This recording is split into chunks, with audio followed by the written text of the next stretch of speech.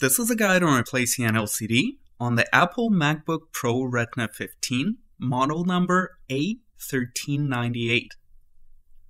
To begin, shut down the laptop and disconnect the AC power. Flip the laptop over and remove 10 pentalobe screws from the bottom cover.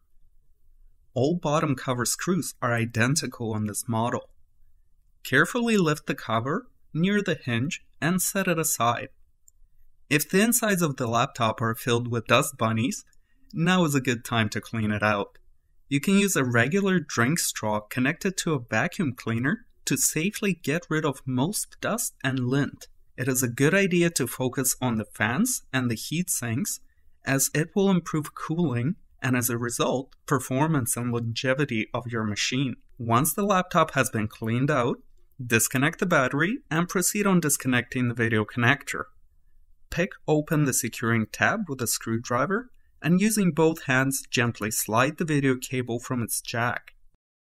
Using a screwdriver, pick open three Wi-Fi antenna cables from the wireless network card. Disconnect the iSight camera connector with the help of a screwdriver. Carefully unglue the Wi-Fi and the iSight cables from their routing channels. Remove two rubber covers from the hinge screws and set them aside. Remove any remaining adhesive pads from the hinge screws. Carefully open the display at a 90 degree angle and hang it off the desk edge. Using a Torx 8 screwdriver, remove 6 hinge screws, 3 on each side. Using a Phillips screwdriver, remove 2 hinge stoppers, 1 on each side of the hinge. At this point, you can carefully wiggle the top assembly away from the main body. Place the display assembly on the desk. Remove the plastic hinge cover by firmly pushing it to the right about a quarter of an inch and prying it out of its placement. Using a Phillips screwdriver, proceed on removing six tiny screws securing the Wi-Fi antenna assembly. Using a Torx 5 screwdriver, unscrew the left hinge from the display assembly. Set the two screws aside. Remove two Torx 5 screws out of the right hinge and set them aside. Remove another final Phillips screw hidden under the wires of the right hinge that secures the Wi-Fi antenna assembly. The video cable is secured with tape around the Wi-Fi antenna assembly. Using tweezers, unravel the securing tape and reposition the video cable. Unsnap the antenna assembly and keep it away from the display. Using tweezers, open the video connector bracket, disconnect, and set the video cable aside. Remove two Phillips screws securing the LCD driver board, one on each end. Using a flat screwdriver, pop open the backlight connector near the video port. Bend out the LCD driver board and remove six Phillips screws underneath.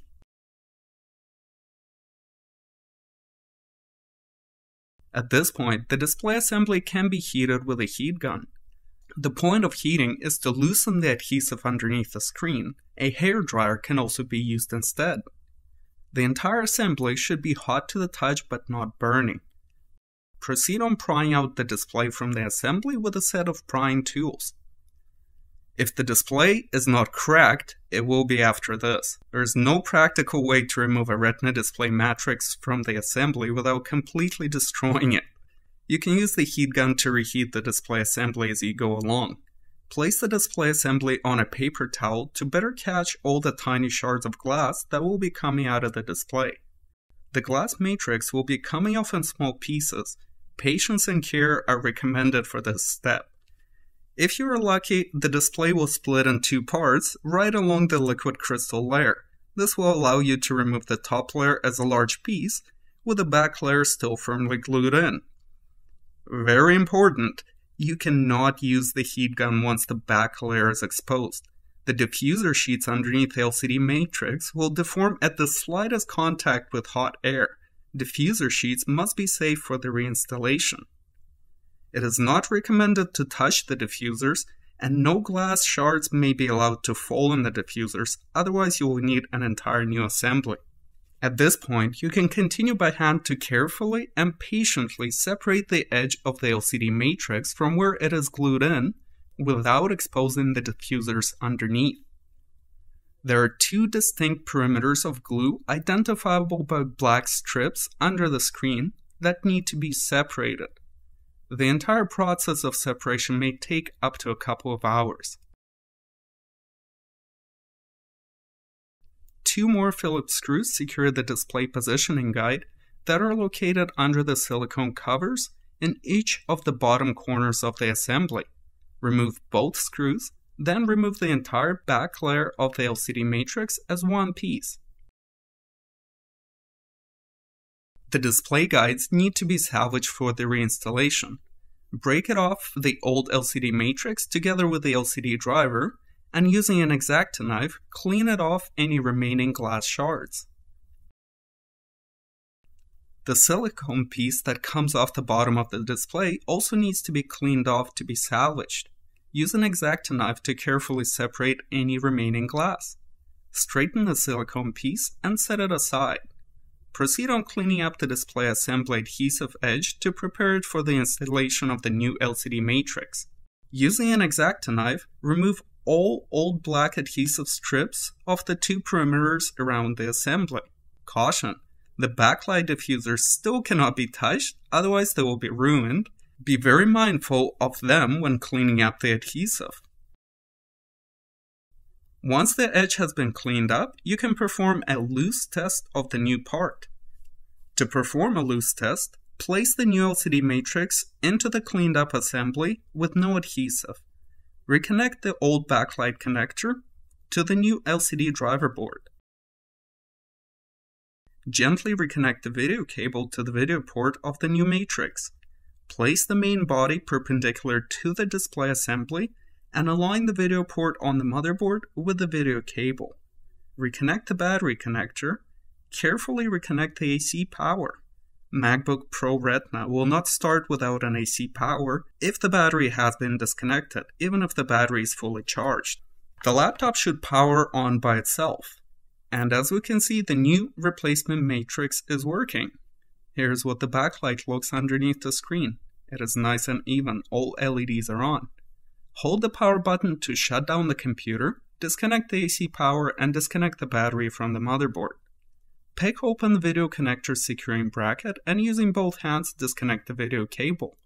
Open the securing bracket on the LCD driver side and remove the video cable from the LCD.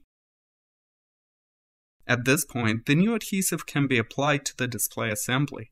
We are using a 3mm double-sided 3M adhesive tape. Each piece is cut to length and applied all around the two adhesive perimeters on the display assembly.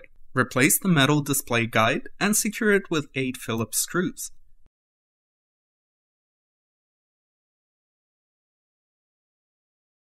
Apply two strips of adhesive to the guide.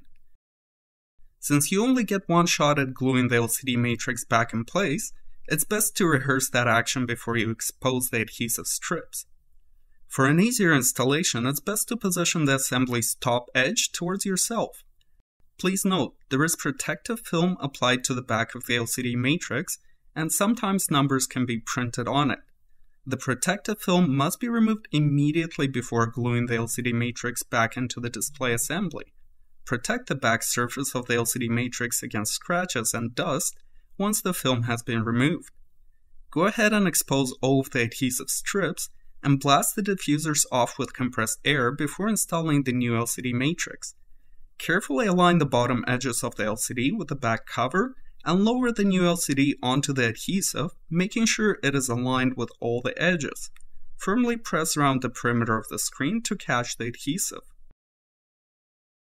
Remove adhesive protector from the bottom edge of the LCD matrix. Bend the LCD driver in place and secure it with two screws, one on each side.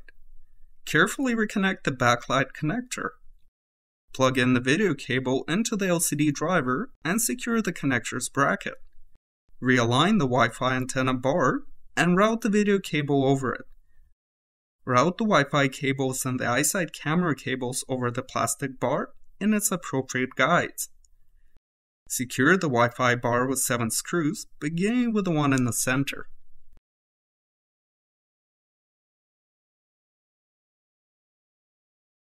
Replace the two left hinge screws, then replace the two right hinge screws.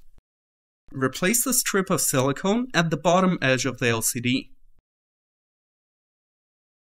Replace the plastic hinge cover. Firmly press it in place, making sure that the bottom edge is fitted inside its groove, and push it left about 3 mm or a quarter inch to secure it in place.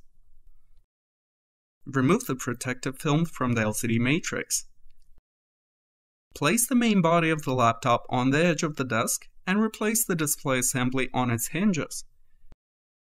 Secure the hinges with three screws on each side, but do not tighten the hinge screws fully just yet. Replace the hinge stoppers, two on each side.